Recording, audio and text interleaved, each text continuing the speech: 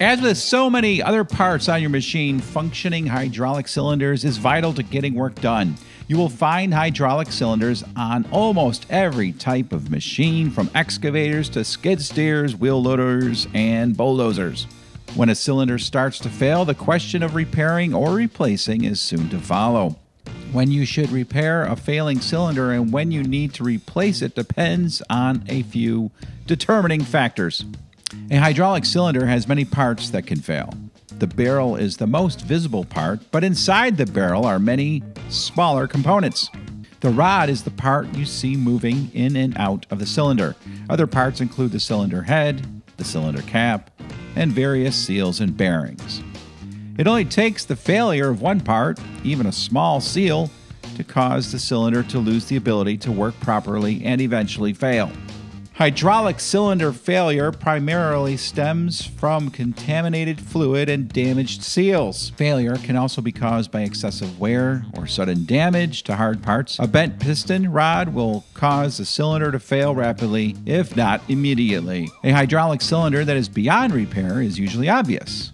The cylinder bore is cracked, the rod is severely bent, or the entire cylinder is torched. However, most hydraulic cylinders can be repaired by an experienced hydraulic shop. Often a cylinder can be repaired by simply repacking the cylinder with a seal kit. This is a job that can be performed by virtually anyone working on a smaller cylinder if they have the right tools and know how. What needs to be considered when it comes to replacing or repairing a hydraulic cylinder is the simple concept of time and money.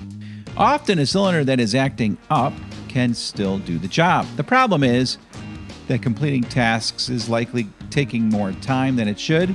Also, if the hydraulic cylinder is not working properly, it can cause problems with other components in the hydraulic system and put stress on other parts like pins, bearings, and seals. When a cylinder needs to be removed from the machine and repaired, it can be on the sideline for days, if not weeks. Both scenarios of downtime needs to be considered when it comes to a decision on repairing the cylinder or replacing the cylinder entirely. For this reason, you need to evaluate how much potential work you won't be able to complete.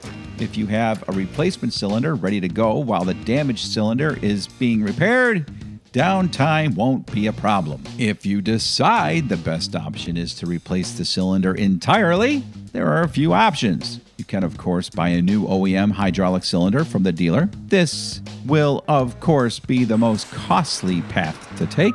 Often the dealer will discontinue hydraulic cylinders, leaving machine owners banking on another option, which is aftermarket cylinders.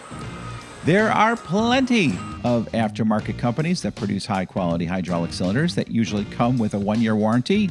These cylinders can cost half of what the dealer fetches for a new one.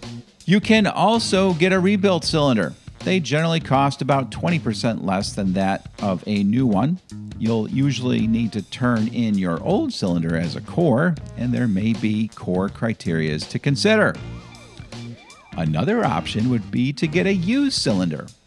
A used OEM cylinder, however, often costs about the same, if not more, than an aftermarket one. A used cylinder usually only comes with a 30 day warranty if it comes with one at all. When a cylinder fails, it's usually only one small component that needs to be replaced, like a seal or an O ring. Having a cylinder repacked by a repair shop usually costs a few hundred dollars depending on the cylinder being repaired. Getting a cylinder completely rebuilt is a bit more costly. Though less than buying a new OEM cylinder, the price is usually about the same as getting a new replacement cylinder. Rebuilding cylinders typically have a 90 day warranty. ConEquip Parts sells new, rebuilt, and used cylinders for virtually every make and model of excavator, wheel loader, bulldozer, backhoe, and many other machines.